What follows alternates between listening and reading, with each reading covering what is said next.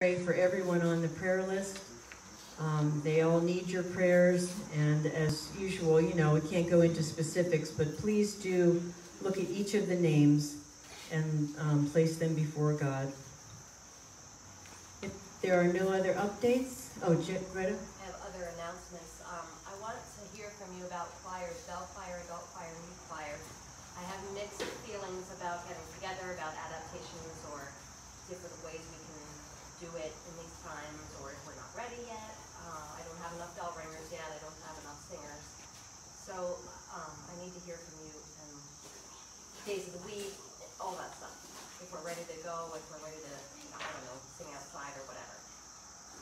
So, let me know if, um, the kids are interested, if you're interested in singing.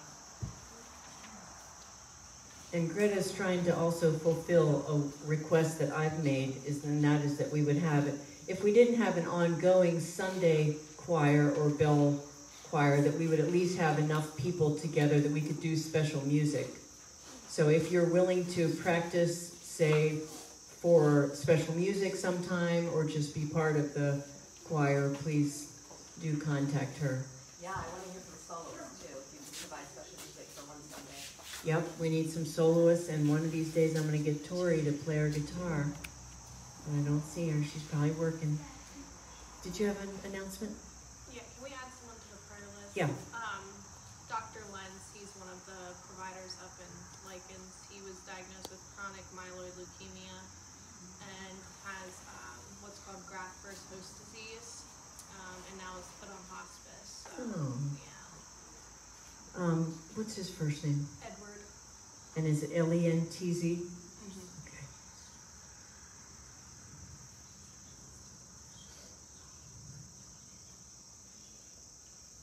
Oh, that's too bad. And how do you know him? I just, I worked with him. oh, Yeah. okay. All right, well, let's prepare our hearts and minds for work. Oh, Also put an announcement, we're having a sub sale, and there's a paper over on the table, if anybody wants to sign up for subs, um, it's there with the. Very good. Okay. I think we will prepare our hearts and minds for worship now. Please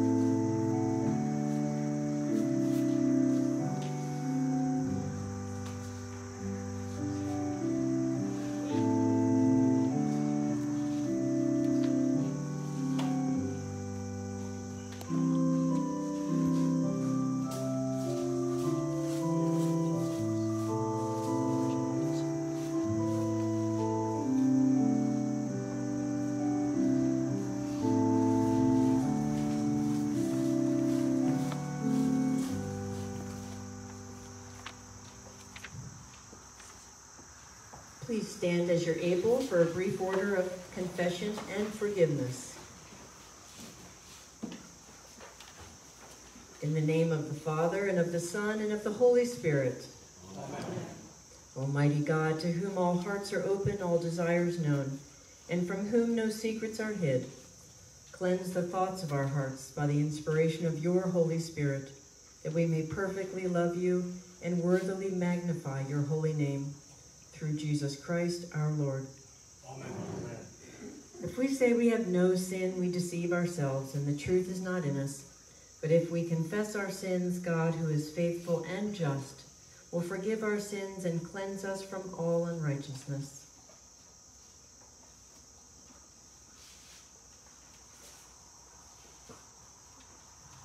Most merciful God, Almighty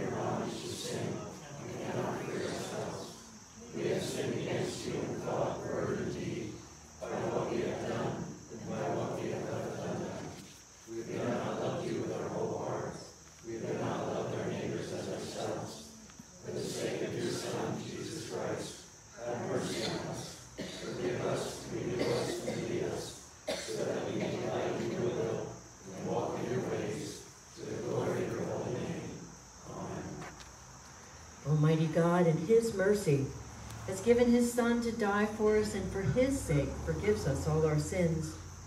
As a called and ordained minister of the Church of Christ, and by His authority, I therefore declare to you the entire forgiveness of all your sins In the name of the Father, and of the Son, and of the Holy Spirit. The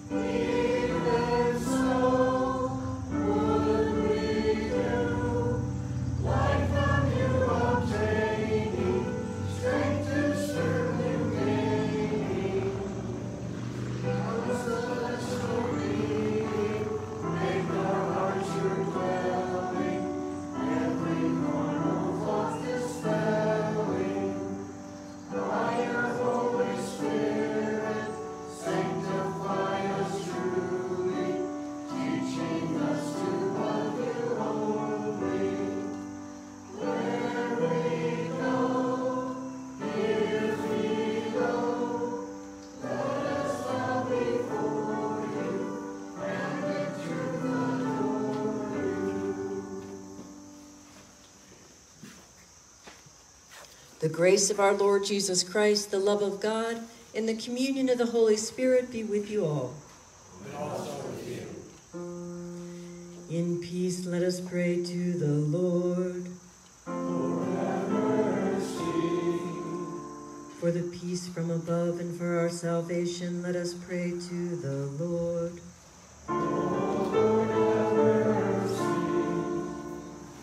for the peace of the whole world, for the well-being of the Church of God, and for the unity of all, let us pray to the Lord. Lord. For this holy house and for all who offer here their worship and praise, let us pray to the Lord. Lord, Help, save, comfort, and defend us, gracious Lord.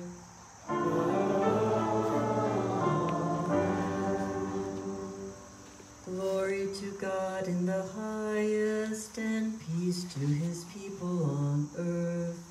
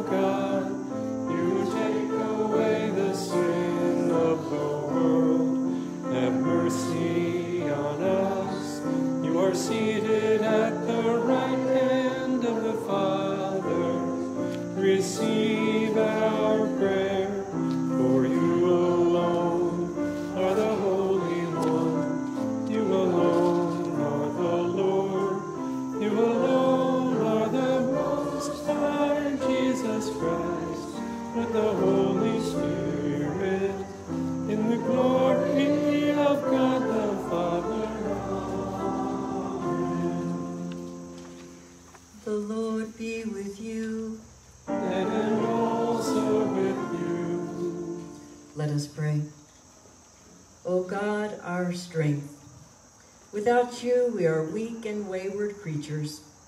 Protect us from all dangers that attack us from the outside and cleanse us from all evil that arises from within ourselves, that we may be preserved through your Son, Jesus Christ, our Savior and Lord.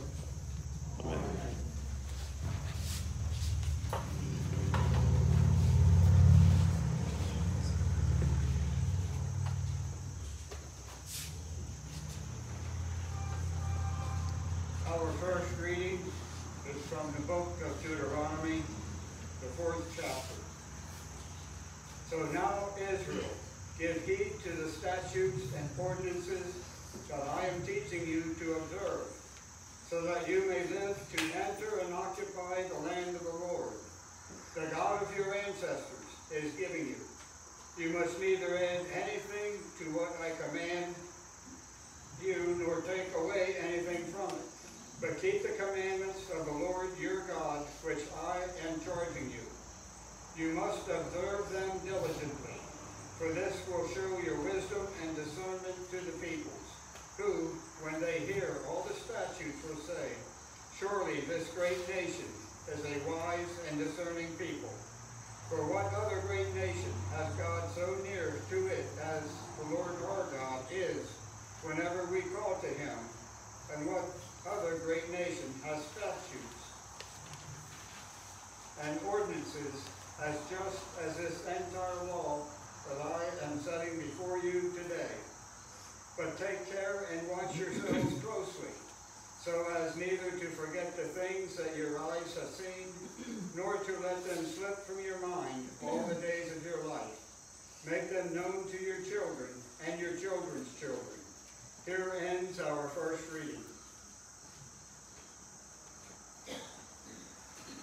We will recite Psalm 15 responsively by whole verse. Lord, who may dwell in your tabernacle? Who may abide upon your holy hill? Those who lead a blameless life and do what is right, who speak the truth from their heart. They do not slander with the tongue. They do no evil to their friends. They do not cast discredit upon a neighbor. In their sight, the wicked are rejected, but they honor those who fear the Lord.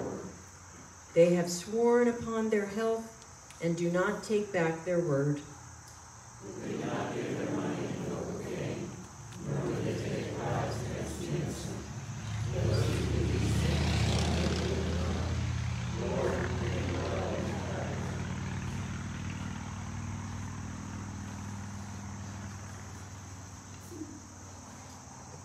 Our second lesson.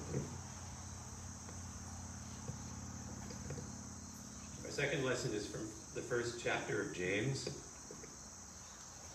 Every generous act of giving, with every perfect gift, is from above, coming down from the Father of lights, with whom there is no variation or shadow due to change. In fulfillment of his own purpose, he gave us birth by the word of truth so that we would become a kind of first fruits of his creatures. You must understand this, my beloved.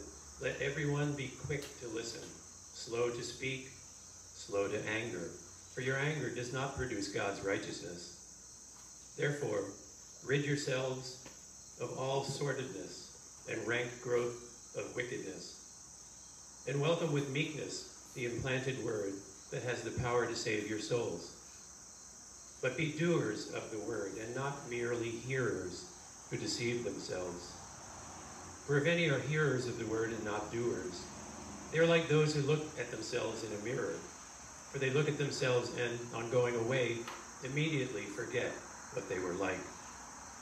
But those who look into the perfect law, the law of liberty, and persevere, being not hearers who forget, but doers who act, they will be blessed in their doing. If any think they are religious and do not bridle their tongues, but deceive their hearts, their religion is worthless. Religion that is pure and undefiled before God, the Father, is this to care for orphans and widows in their distress, and to keep oneself unstained by the world. Here ends this lesson.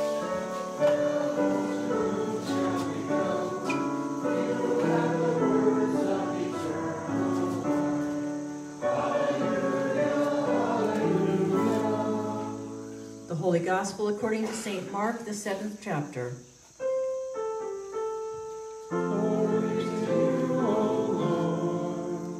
Now, when the Pharisees and some of the scribes who had come from Jerusalem gathered around Jesus, they noticed that some of his disciples were eating with defiled hands, that is, without washing them. For the Pharisees and all the Jews do not eat unless they thoroughly wash their hands, thus observing the tradition of the elders. And they do not eat anything from the market unless they wash it. And there are also many other traditions that they observe the washing of cups, pots, and bronze kettles. So the Pharisees and the scribes asked him, Why do your disciples not live according to the tradition of the elders, but eat with defiled hands? He said to them, Isaiah prophesied rightly about you hypocrites, as it is written, This people honors me with their lips, but their hearts are far from me. In vain do they worship me, teaching human precepts as doctrines. You abandon the commandment of God and hold to human tradition. Then he called the crowd again and said to them, Listen to me, all of you, and understand.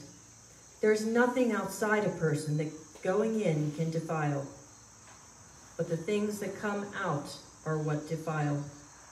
For it is from within, from the human heart, that evil intentions come fornication, theft, murder, adultery, avarice, wickedness, deceit, licentiousness, or lack of self control, envy, slender, slander, pride, folly.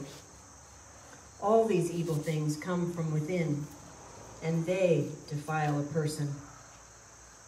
The Gospel of our Lord.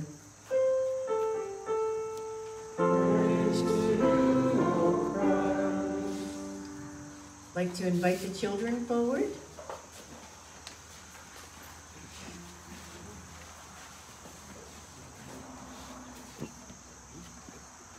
Good morning.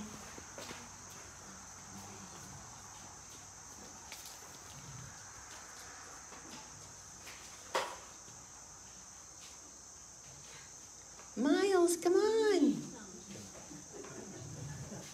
Want me to hold my breath till you come?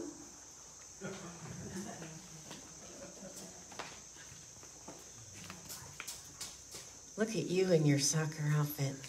Wow, very cool. Very cool. Okay, so let's see. I have a question for you. Give me one rule that's in your house, something you're not allowed to do. Like maybe if you get up and it's still dark, you're not allowed to get out of bed. Got to wait till mom and dad wake up. Let's see. Think of a rule. Or you can't touch the knives. Excellent. I'm telling you, you always give me the answers that I would have given you because they're just perfect. That's a great rule. Can you think of one, Rena? How about, are you allowed to jump on the beds? No, so that would be a rule.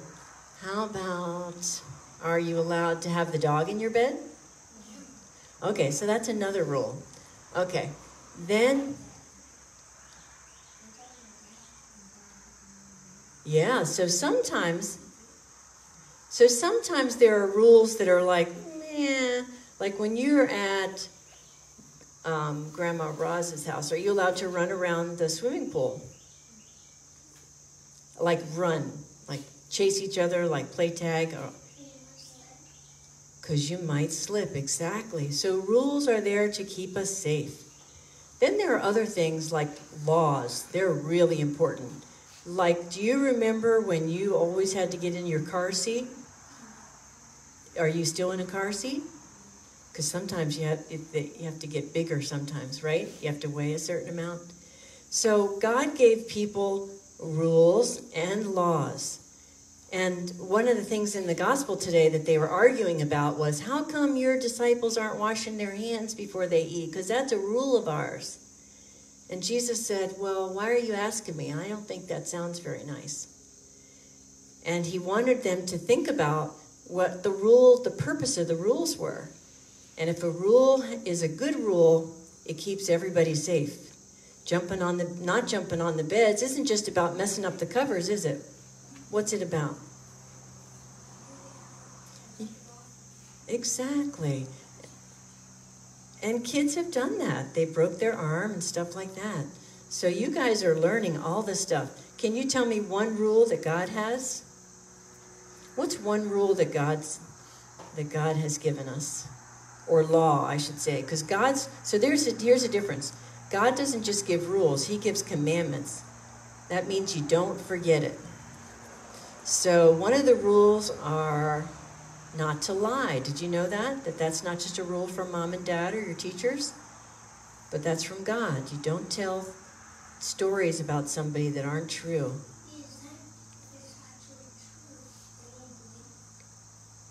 Right, that's a whole nother story, lesson that comes from not lying. Very good. Well, I have nothing else to teach you. You guys really understand God's commandments.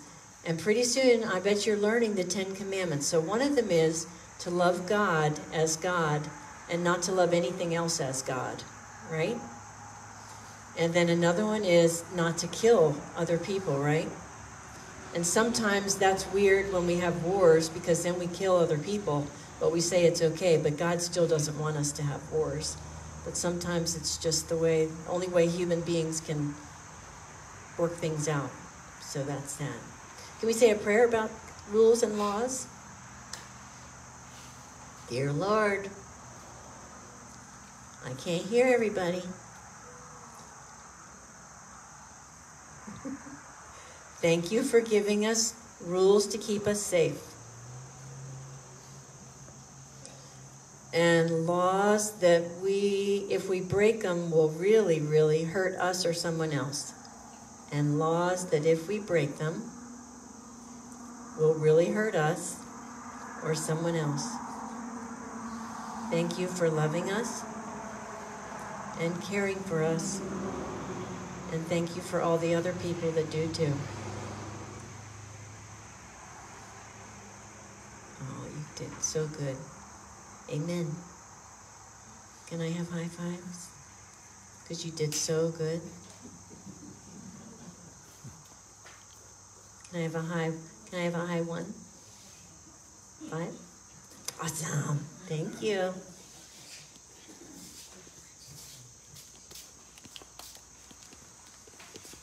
That was perfect. Knives in the drawer. Don't touch the knives.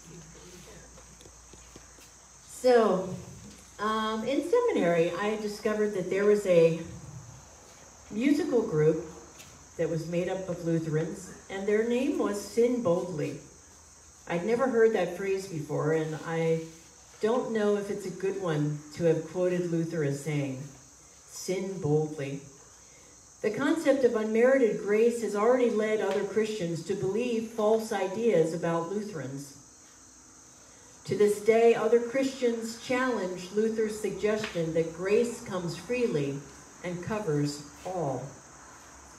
Even Lutherans misunderstand the concepts of grace, law, and gospel, so I'll ask you do Lutherans rely so heavily on God's grace that they encourage sin? Not in the least. Do we ignore God's law? No way. One beauty of our faith is how Lutherans understand the intent of God's law and that is to keep sin in check and drive us to God. So I'm going to explain to you some of the uses of the law. God's law is like a guardrail to sin. It prevents some accidents from becoming fatalities. The law, like a guardrail, can sometimes stop the worst from happening. Harm may come, but tragedy may be prevented or warded off.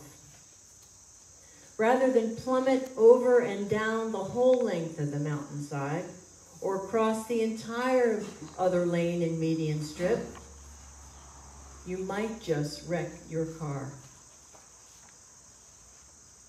Like a guardrail, the sin, the law controls sin, so it literally does not get out of control, leading to greater harm and destruction.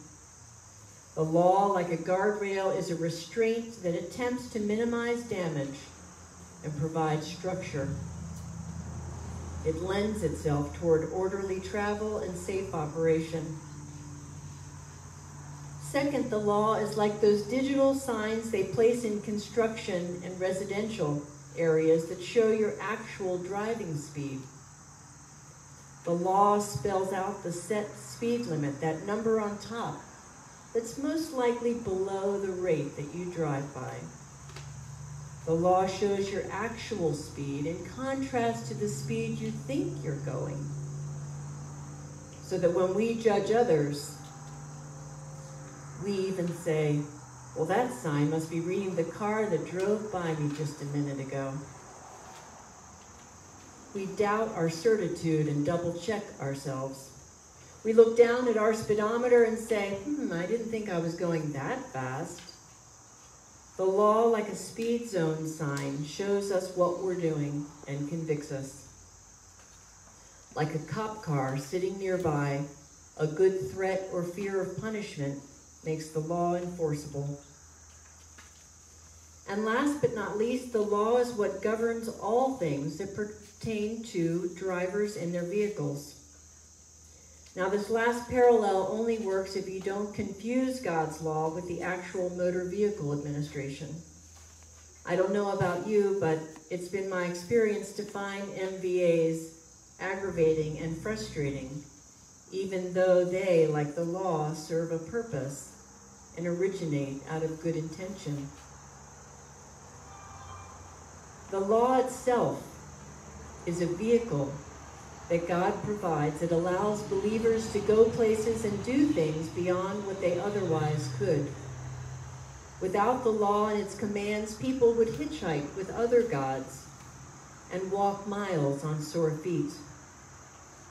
Whoever has received grace so they believe has been united in faith to Christ. And as claimed children of God, we receive vehicle, tags, and license. We're credited with Christ's ability to obey. And in this way, the law helps believers become better drivers, or to say it another way, become more holy. Now, receiving one's license and a car to drive, that is, being justified or saved by grace, doesn't mean there still aren't rules to follow and laws to obey. Faithfulness is a way of life given by God, and through Christ we gain maturity. And maturity helps us appreciate and benefit from God's law. Just like when we learn to drive, we gain freedom by becoming a Christian. The freedom we enjoy is afforded to us. And in order to keep driving, we must obey and submit to the law without resenting its commands. The expectations placed upon us are for our good. And through Christ, even the law becomes a means of transport. For when we practice keeping the law, our skills develop, we develop virtues and build character. By following God's law, we're taken toward holiness every single time we get behind the wheel. We uphold the law because we believe in Christ. we trust God's intention and understand that both law and gospel have divine purpose. Law and gospel both have been crafted and created for our sake. Because God knows if dangers did not exist that actually threaten our lives, there would be no need for guardrails, speed signs, or motor vehicles administrations. According to Jesus, what's the difference between rules and laws? This past year, we've all learned the difference between a recommendation and a mandate. We've seen how recommendations are treated as mere suggestions unless something is commanded or mandated. I mean, commanded and mandated and enforced, people usually won't comply. Rules are made to be broken, some say, or at least tested to see if they're worth following. That is the American way. Jesus seems to take offense when the rules are pointed out to him. Why? Because whether someone follows the rules or not is a matter of the heart. It's possible that some people who have not been vaccinated truly love their neighbors. And it's also possible that some people who have been vaccinated don't. See, rule followers don't always care about what's really at stake, and rule breakers sometimes do. Some people, like the Pharisees and scribes, felt it was their job to notice who did and who didn't follow the rules religiously. Jesus says, Some of you abandon God's commandment and hold to human tradition. Like us, the Pharisees and the scribes of Jesus' time were concerned with who thoroughly washed their hands, who washed the things they ate, and followed other other recommended guidelines that were put forth by tradition. Tradition was the CDC of their time. You see, the law and the CDC are both protection agencies. Each is put into place to save lives and protect people from threats. Granted, God's law deserves our full trust. The other is based on human tradition of scientific elders. Jesus asks, Whom can you trust? The wisdom of man or only God? We can trust the Word of God to help us discern the wisdom of science. God's children are born by the Word. We have the Word implanted in us that saves our souls as if we've been vaccinated by God, then it's up to us to do something. We're to become doers of the word so the word stays in us. Doing God's will and following God's law are booster shots against sin. Whatever else you do will wear off. Coming to church and merely hearing God's word doesn't last. It's like looking at yourself in a mirror before you leave the house. You may feel good in the moment and walk away feeling attractive. The feeling may last, but your actual look's going to deteriorate by the hour. Your hair will mess up. Your glasses will get smudged. You'll get food between your teeth. Your clothing and skin will become soiled, regardless of how you feel and you're no longer actually the person who left the house or God's house hours ago. The text says, Listen to me, all of you, and understand. There is nothing outside a person that going in can defile. And I wouldn't dare to say that that is pertains to the vaccine because we don't know the answers to everything. But if we concentrate on that which comes out of us, then we'll be doing what Jesus asked us to do. It's one thing to doubt the vaccine for you and your own family, but don't let whatever comes out of your mouth create confusion for someone else. Check your heart. Evil intentions that Jesus mentions come to fruition whenever other people are victimized. That's the danger of fornication, theft, murder, and adultery. The law has a purpose, and with freedom comes responsibility. Both the law and freedom offer protection for the vulnerable, for the ignorant, and those unwilling to follow the law. I think Jesus is also saying that wanting others to do as you do is greedy, wicked, and deceitful. Speaking against others involves envy, slander, pride, and folly. All such things come from a dark place in our hearts. They make communities impure and defile persons. In fact, the purpose of the law is to show that on their own, persons cannot better themselves. Persons cannot make anyone worse by pointing out their flaws. The purpose of the sermon is not to imply that God's law demands everyone get vaccinated. Because regardless of what pe- rules people follow or recommendations they ignore, the purpose of God's law is to rein in sin, to show us where we fail, and to help us do better each day.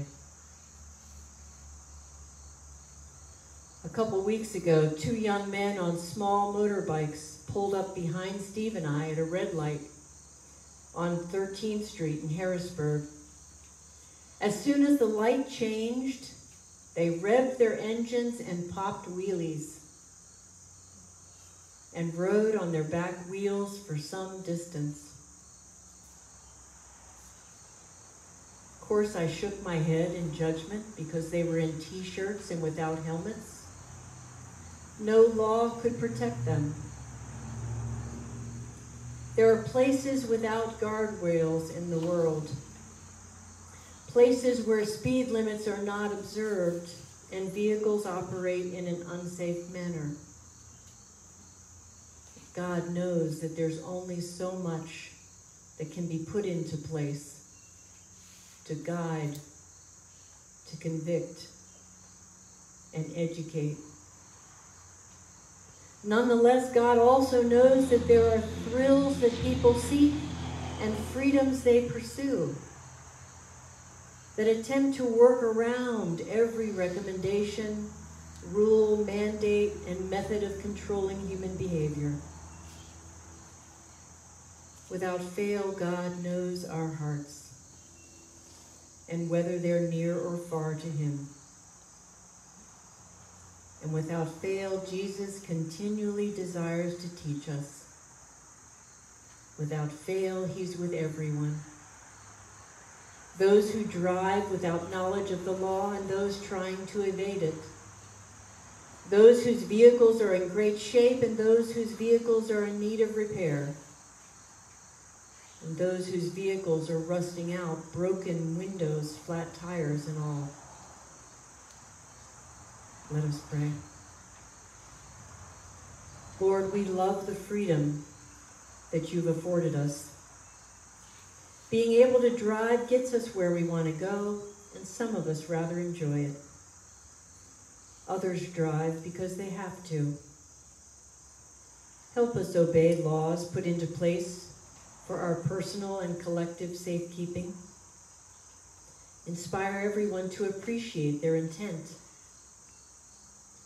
Help us not to confuse human rules or tradition with divine will. Help us believe in you and live from the promise that your word will accomplish your purpose in the lives of all people on earth. In your holy name we pray.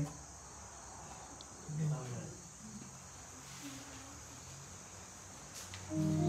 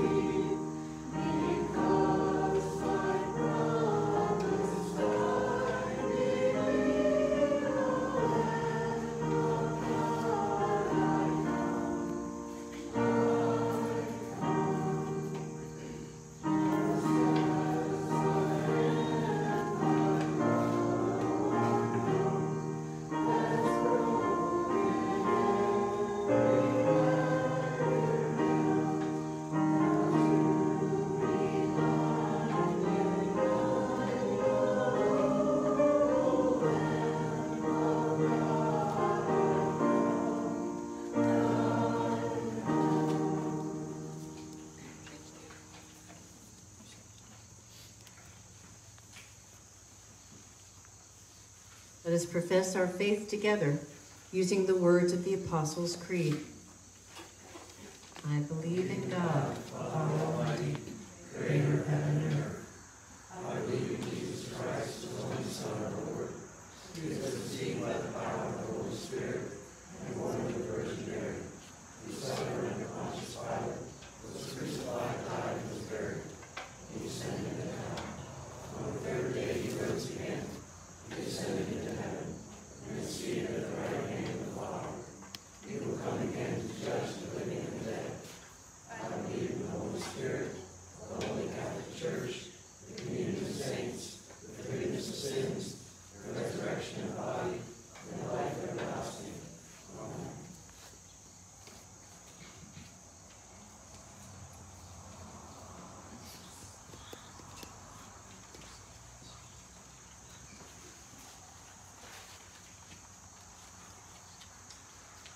Made children and heirs of God's promise, we pray for the church, the world, and all in need.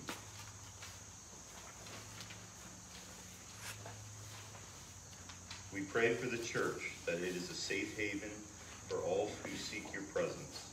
Fill it with pastors, deacons, leaders, and participants who hear and echo your expansive, generous, welcome, and ongoing commitment to covenantal relationship.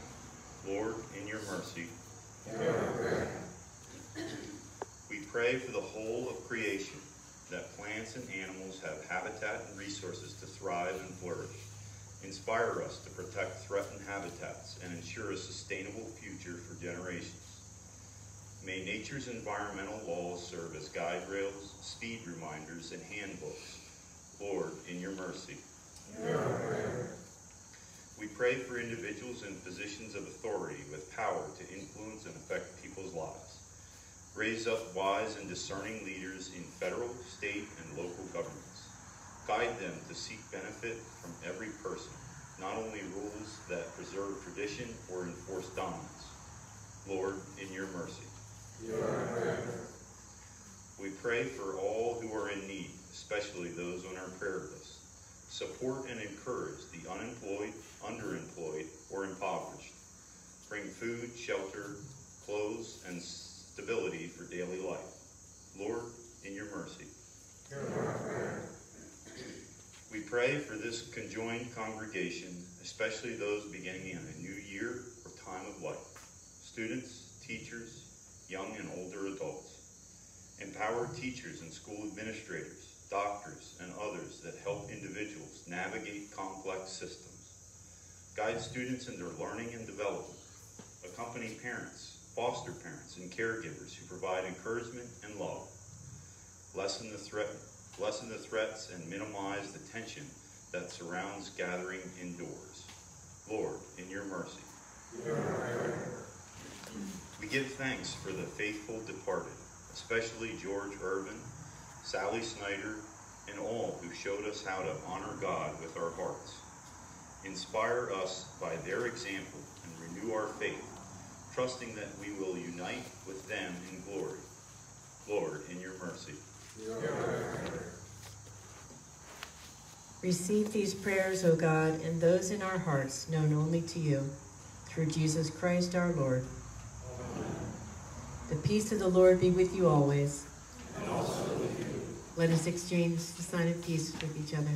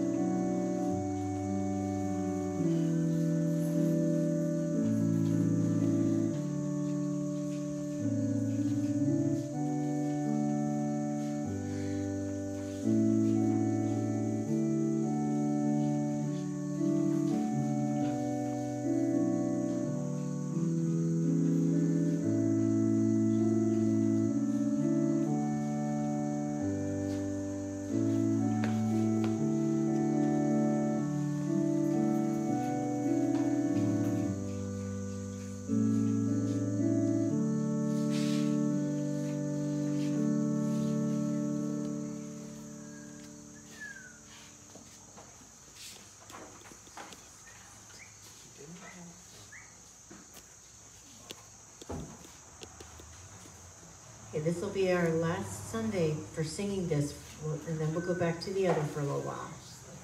Ready? Give it your best shot.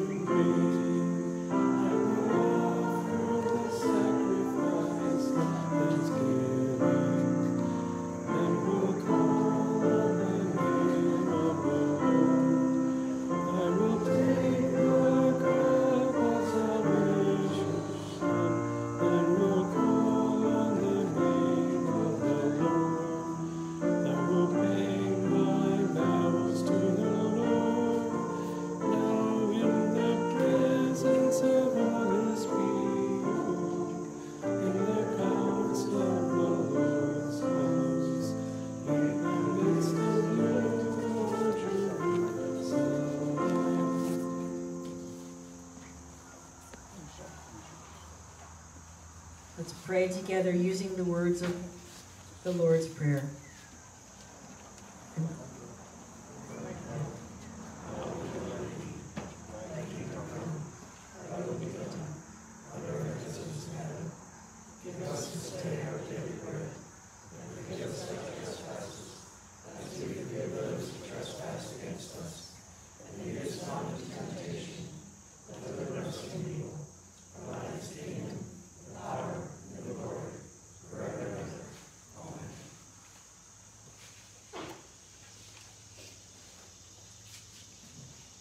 Go ahead and use the same um, benediction from last week. Now may the Lord of peace himself give you peace at all times and always. And also may the grace of our Lord Jesus Christ himself, the Father, the Son, and the Holy Spirit be with each and all of you.